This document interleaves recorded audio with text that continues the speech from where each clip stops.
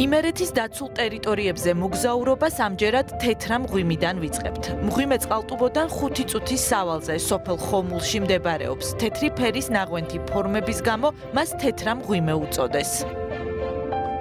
მღვიმის შესასვლელთან დაგხვდებათ ნახატი, რომელიც გვიყვება ისტორიას იმის შესახებ, თუ როგორ გამოაძევა მღვიმიდან ადამიანმა ცხოველები და თვითონ დაიწყო ცხოვრება.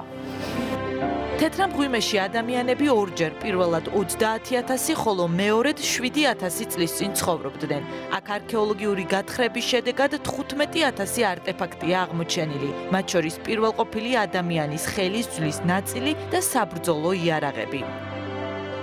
ანუ ეს არის ის ადგილი, სადაც 30000 წლის წინ ცხოვრობდა ადამიანი. კი, კერაინთოც სწორედ აი აქ, აი ამ სივრცეში, ნახეთ ნაღვენთი ფორმებიც კი მაგაზე მეტყოლებს გაჭვარტულია სულ ნაღვენთი ფორმები.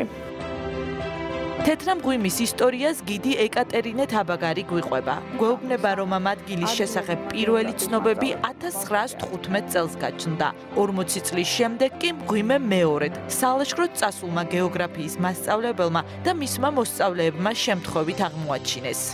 ჯერ შემთხვევით ბავშვებს ბურსი ჩამოუვარდა 1955 წელს და შემდეგ უკვე ინტერესი ჩნდება ამ მღვიმის გარშემო და იწყება შესწავლა მღვიმის შესწავლის შემდეგ გაირკვა, რომ სამკურნალო თვისებები აქვს. ჯერ კიდევ მე-20 საუკუნის 70-იან 80-იან წლებში ადამიანები აქ ბრონქული ასთმის, ქრონიკული ბრონქიტისა და ჰიპერტონიის სამკურნალოდ დადიოდნენ. ეს თვისებები მღვიმეს დღესაც შეუნარჩუნდა. როგორც გვიხსნიან, თეთრაში იონიზაციის პროცესი სწრაფად მიმდინარეობს, ასევე გამოიყოფა ნივთიერებები, რომლებსაც გამაჯანსაღებელი და სამკურნალო თვისებები აქვთ. არის ხშირი შემთხვევა, რომ თვითონ ექიმები ნიშნავენ და ძალიან ბევრი დადის უკვე ექიმის დანიშნულებით იმუნიტეტის გასამკრევებლად. უკუჩვენება არ აქვს არც ერთ დაავადებაზე, ხოლო დროებია შეზღუდული. ანუ ამ ჟანგბადით დიდხანს, ასე ვთქვათ, მისი სუნთქვა არ შეიძლება და ამით დატვირთვა არ შეიძლება.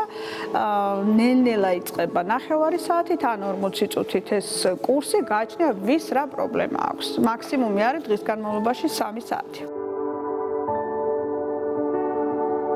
მღვიმე ჭარბტენიანია, ტემპერატურა კი მუდმივად 13-14 გრადუსია, რაც ღვინის დასაძველებლად შესაფერის გარემოს ქმნის. ამიტომ თეთრა მღვიმიდან ღვინის ტურისა და აქ დაძველებული ღვინოების დაგემოვნების გარეშე არ უნდა წახვიდეთ.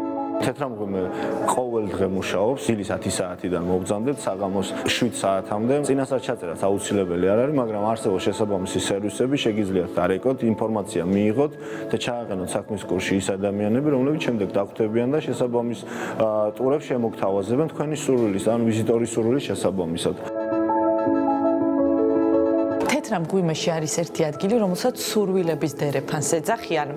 აი, თუ ამ ვიწრო დერეფანში ბოლომდე შეხვალთ და სურვილს ჩაიფიქრებთ, ამბობენ რომ ის სურვილი აუცილებლად აგიხდება, ამიტომ ვწდით ახლა ჩვენც. დერეფანი თანდათან ვიწროვდება და უნდა შეძლო რომ ბოლო წერტილამდე მიხვიდე.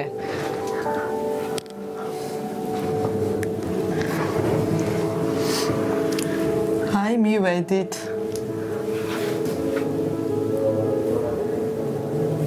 ნახოთ აბა თუ აგვისრულდება.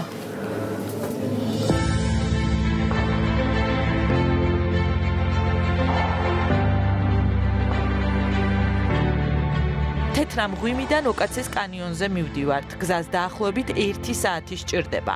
ოკაცე ხონის მუნიციპალიტეტში სოფელ გორდში მდებარეობს. კანიონი რეაბილიტაციის გამო 4 თვის განმავლობაში დაკეტილი იყო. პირველი ივლისიდან კი სტუმრების მიღება განაახლა. მთლიანად მოხდა ინფრასტრუქტურის განახლება, ანუ სამღებრო სამუშაოები ჩაუტარდა მთლიანად ამ რკინის კონსტრუქციას, მთლიანად მოხდა მისი ძველი საღებავის ფენის მოშორება და თავიდან შეღება, რაც აუცილებელია მოვლა პატრონობისთვის. ეხლა მიმდინარეობს მეხამრიდების მონტაჟი და ასევე დამცავებადის მონტაჟი, რაც მოგვცემს საშუალებას, რომ ოკაცის კანიონი ვიზიტორებისთვის ღია იყოს ნებისმიერ ამინჩი წლის ნებისმიერ დროს. კანიონი ყოველ დღე დილის 10 საათიდან საღამოს 7-ის ნახევრამდე მუშაობს. აქ მოსასვლელად ბილეთები ვიზიტორთა ცენტრში უნდა შეიძინოთ, რომელიც სოფელ გორდში მდებარეობს.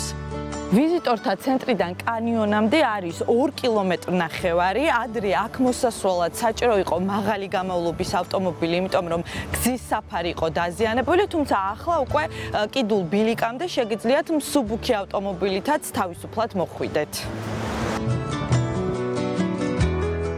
ოკაცეს კანიონი პირველი და ერთადერთი კიდული ბილიკია საქართველოში. მისი სიგრძე 780 მეტრია, რომელსაც თქვენ კლდეზე დაკიდებული ხიდებით გაივლით. ამ თავგადასავალს კიდევ უფრო ექსტრემალურს და საინტერესოს ბილიკის საფარი ხდის, რომელიც გამჭვირვალეა. კიდული ბილიკის გავლას დაახლოებით 40 წუთი სჭირდება და ამის შემდეგ თქვენ უკვე გამოდიხართ ოკაცეს კანიონის მთავარ გადასახედზე. ეს გადასახედი მიწიდან 150 მეტრზე მდებარეობს და ისევე როგორც მთელი კიდული ბილიკიდან აქედანაც ხეობის ულამაზესი ხედები იშლება.